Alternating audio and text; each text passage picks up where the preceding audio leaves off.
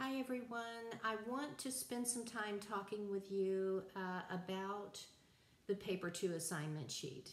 So um, if you would go with me to uh, first content up at the top of your Brightspace course page and then scroll down in the left hand toolbar to major paper assignments and related materials and then click on Paper 2 Assignment Sheet Rhetorical Analysis. You can then follow along with me if you would.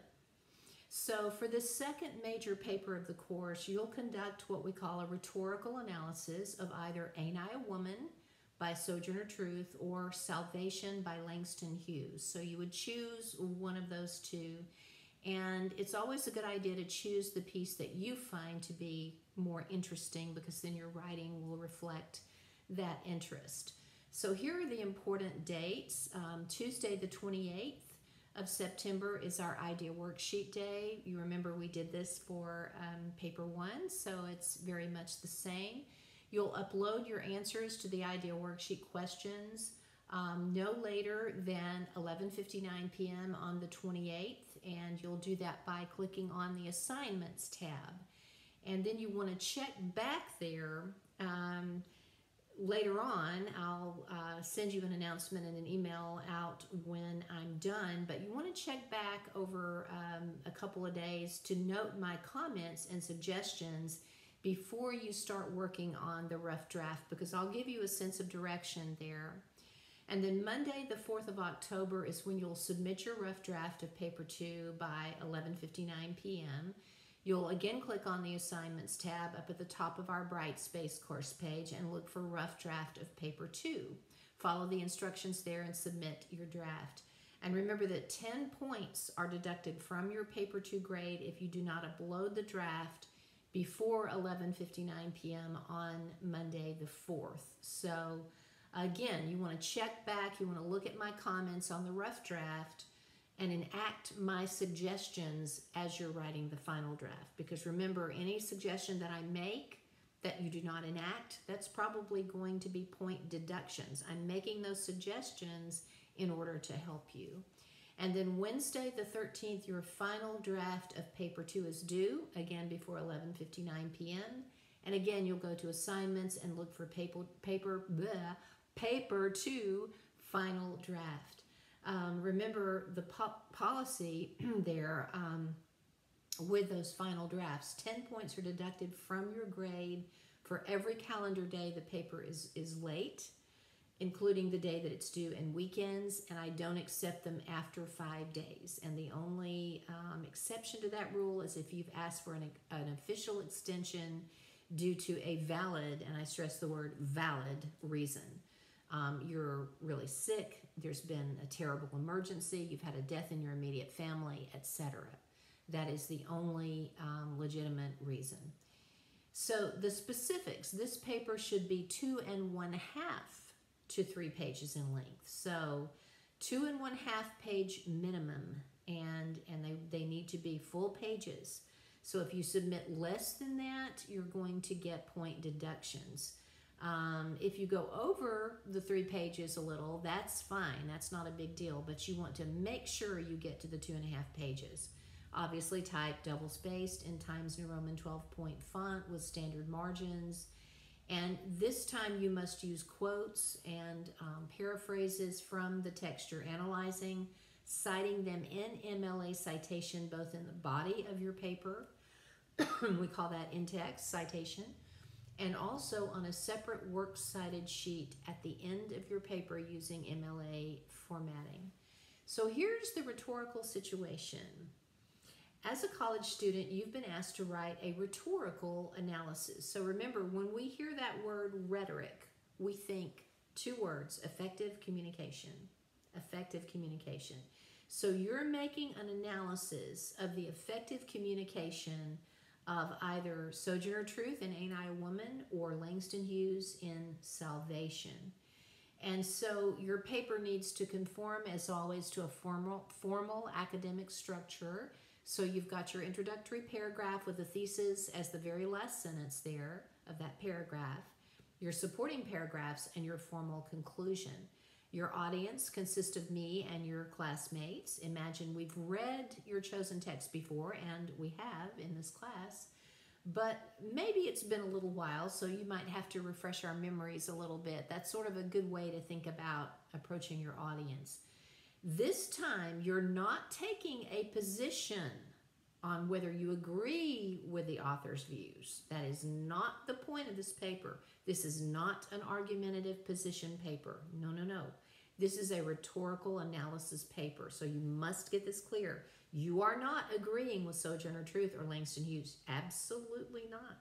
Rather, you are offering a clear, persuasive analysis of his or her writing techniques and appeals. So you're going to talk about how well this writer did with ethos, logos, pathos, right? The three rhetorical appeals. And with rhetorical techniques like tone and style and things like that. So the objective is to examine how the writer used language to effectively communicate his or her purpose in order to reach the readers. Remember, your concerns in this paper are with the how and the why. So, in other words, you're not just relating or summarizing a message this time, like we did in paper one. You're not agreeing or disagreeing with the writer's points of view. Absolutely not.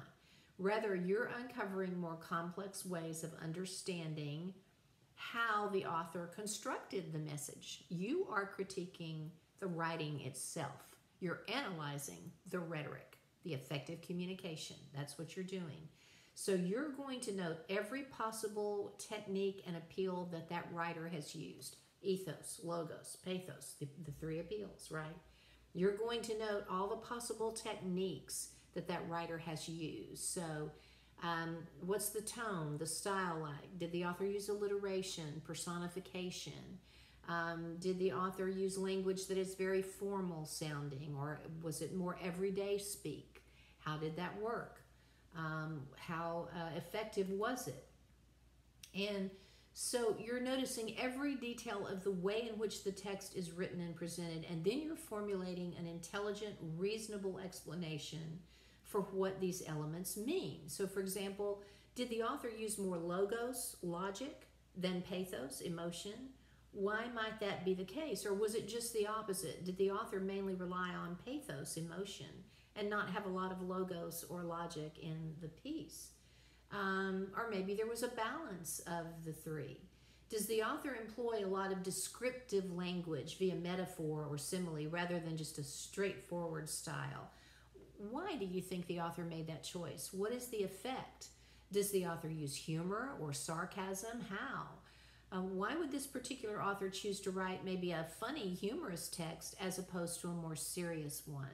So these are what you're doing when you write a rhetorical analysis.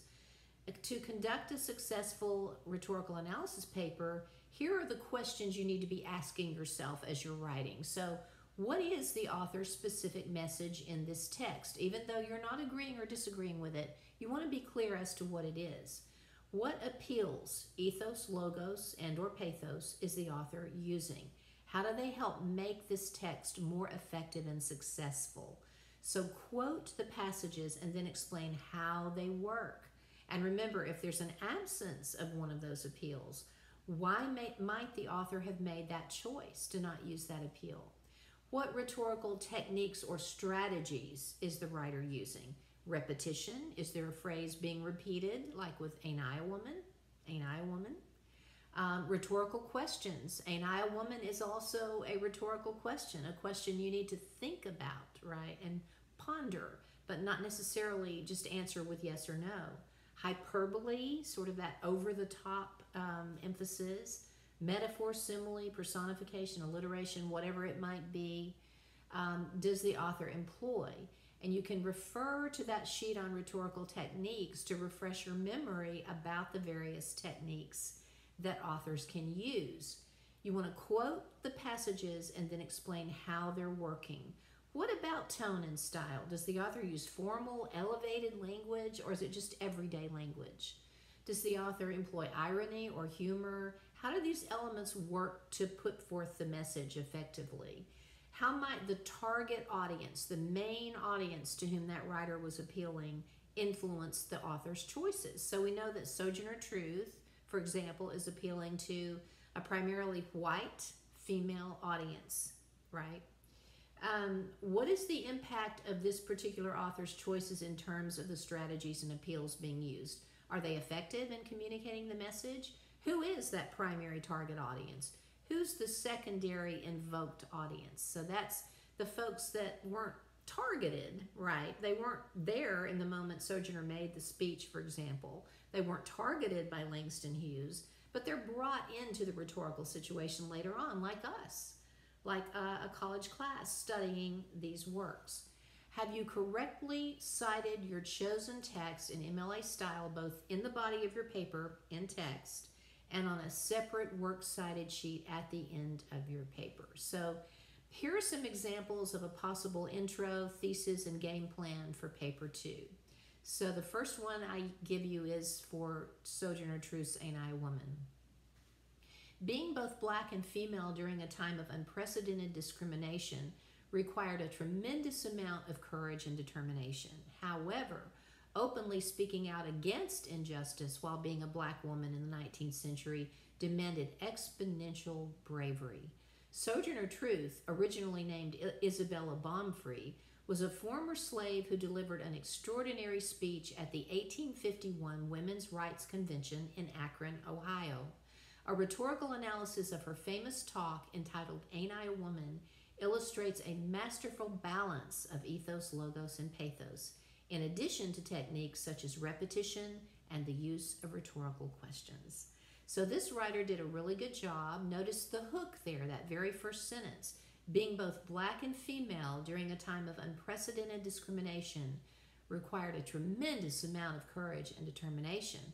However, openly speaking out against injustice while being a black woman in the 19th century demanded exponential bravery. So here's a statement that's very broad and that everybody can kind of understand and relate to. Everybody knows, okay, if you're a black woman during the time of slavery, um, it takes a lot of courage and determination just to be black and just to be a black woman, right, at that time. But to speak out openly in a public forum against injustice, the way Sojourner Truth did as a black woman in this time demanded a huge amount of courage. So that statement is broad, it kind of reels us in. We want to know more about this story. And then you see the writer begin to narrow into his or her thesis. So, Sojourner Truth, now we know who this person is who's speaking out. Originally named Isabella Baumfree, was a former slave who delivered an extraordinary speech at the 1851 Women's Rights Convention in Akron, Ohio. So now we're getting the writer's name, we're getting the title of the piece, all information we have to know right off the bat, and where this speech was delivered. Um, a rhetorical analysis, here's our thesis, of her famous talk entitled Ain't I a Woman illustrates a masterful balance of ethos, logos, and pathos in addition to techniques such as repetition and the use of rhetorical questions. So the thesis statement answers the prompt. It tells you, folks, this is a rhetorical analysis. And here's the title of her talk. And she balances ethos, logos, and pathos really well. And in addition to that, she's using techniques like repetition and rhetorical questions. So this writer has laid out the game plan of his or her paper what he or she is going to talk about in the body now in the rest of the paper um, ethos, logos, pathos, repetition, rhetorical questions. And so you're going to need to offer proof through quotes from Ain't I a Woman of the ethos, the logos, the pathos, and the specific techniques that you mentioned. The body of your paper and your thesis have to go together, right? Here's an example with Hughes's Salvation. As part of achieving maturity, many individuals have experienced the quest to determine for themselves whether to accept the religious beliefs upon which they were raised. In Langston Hughes' Salvation, a story from his autobiographical novel entitled The Big Sea, the author related such a journey as he recounts an old fashioned revival he attended at age 12 in which he felt pressured to quote unquote get saved. A rhetorical analysis of Hughes' memorable text reveals a pathos driven narrative that also demonstrates ethos, as a young Hughes does not wish to lie about actually having seen Christ. Moreover, this story demonstrates the effective use of techniques such as realistic dialogue, imagery, and tone. Now, you'll notice in both of these good examples of intro and thesis, there's no use of first person I. There's no you or your second person.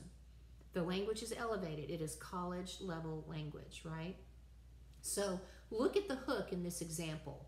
It's a broad statement that all of us can relate to as part of growing up, part of achieving maturity. A lot of us are experiencing this quest to figure out whether we should accept the beliefs that we were raised with, right? There's a message we can all relate to. Now, watch how the author begins to narrow in Langston Hughes' Salvation, a story from his autobiographical novel entitled The Big Sea. The author relates just such a journey as he recounts an old fashioned revival he attended at age 12 in which he felt pressure to get saved.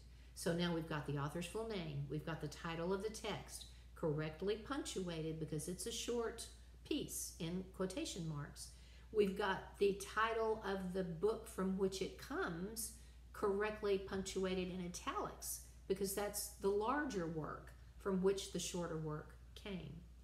And then we reach the thesis statement a rhetorical analysis. So the writer's telling you, here's what I'm doing. It's a rhetorical analysis of Hughes' memorable text reveals a pathos driven narrative. So it's driven by emotion that also demonstrates ethos, right? And um, it explains why this text is demonstrating ethos because Hughes doesn't lie. He doesn't want to lie that he's actually seen Christ in front of his eyes. And so that shows him as being an honest, credible kind of person um, moreover, there's a transition word. This story demonstrates the effective use of techniques such as realistic dialogue, imagery, and tone. So, again, there's a roadmap there of the paper. So, for this kind of intro and thesis, you've got to offer evidence through quotes from the story that this text mainly relies on pathos, emotion, to reach the reader, which it does. You should also include examples of ethos, so how the writer sets himself up to appear credible and trustworthy to us as readers through his extreme sense of honesty and integrity, i.e., he doesn't just simply head on down to the altar like good old Wesley, right? Rather, he feels he's telling a lie to do so when he has not actually yet seen Jesus or a light. And then finally, your essay should include sections that demonstrate the use of that realistic dialogue. So we see Hughes um, sort of having the voice of a young boy at certain times, right? Um, the images that we get of the actual inside of the church and what's going on, the tone, the way he uses some lines that actually sound like a 12 year old boy, for example, to create a successful um, story. So that is the paper two assignment sheet. and in a different video, I'm going to talk to you about transitional and linking words because they're awfully important to your success as a writer, along with this idea of attribution, how we can attribute our quotes, and rhetorical techniques. So um, we've we've mentioned the fact that you need to be talking about rhetorical techniques in paper two. So in my my second video, I'm going to talk to you about that as well. So thanks for your time.